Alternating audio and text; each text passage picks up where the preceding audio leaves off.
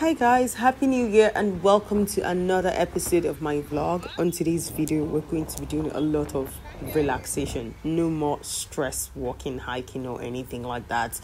Um, today's video, I will be showing you the city of Cotonou. But first, we're going to just watch this football match and have a few drinks and then head out.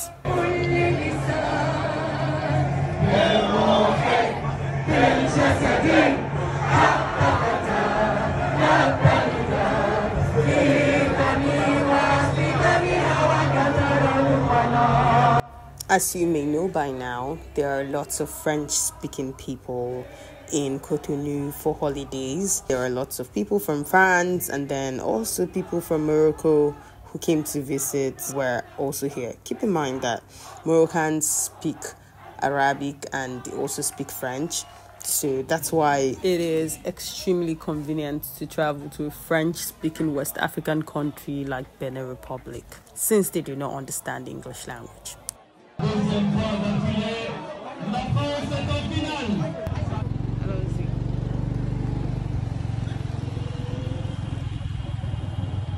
almost forgot to mention that the Code Bar, which was the place we visited for drinks, is usually strictly by invitation. You can't just waltz into the place. It's actually very difficult to just get in like that.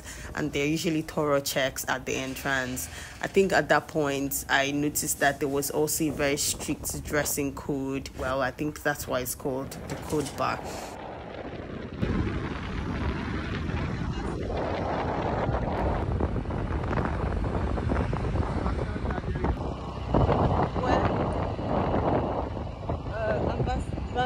Where? Ambassade Nigeria. Nigeria? Ooh. go, go, go. Ah. Nice, nice.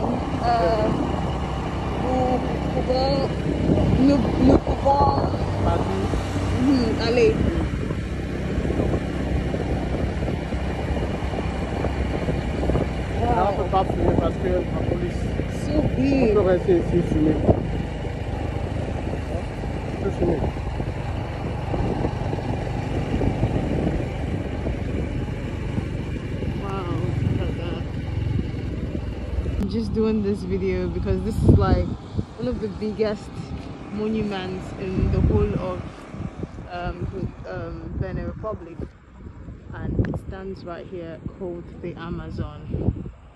I think it was done to honor women Let's go. Yeah. Go, go, go.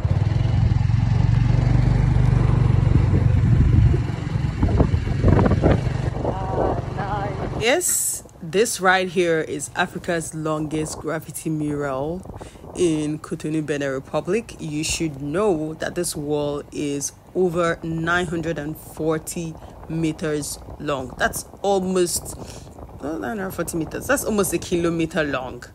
And it was really interesting to look at you could tell that this was just like an embodiment of the West African culture and then the future, things to look forward to.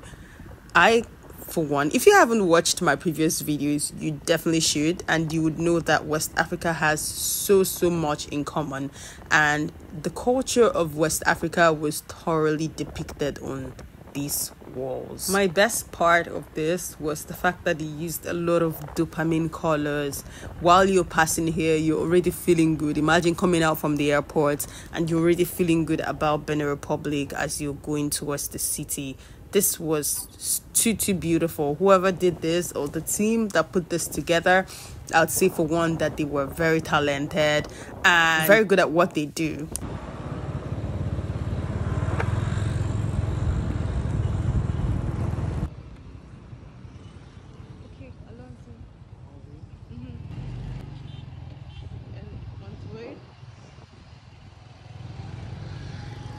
This was my third day in Benin Republic, and of course, you guys know I would want to try some more street food.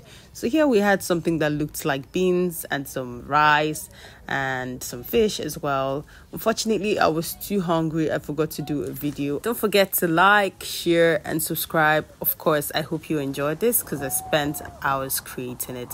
See you guys in my next video. Bye. Myself, what a wonderful world.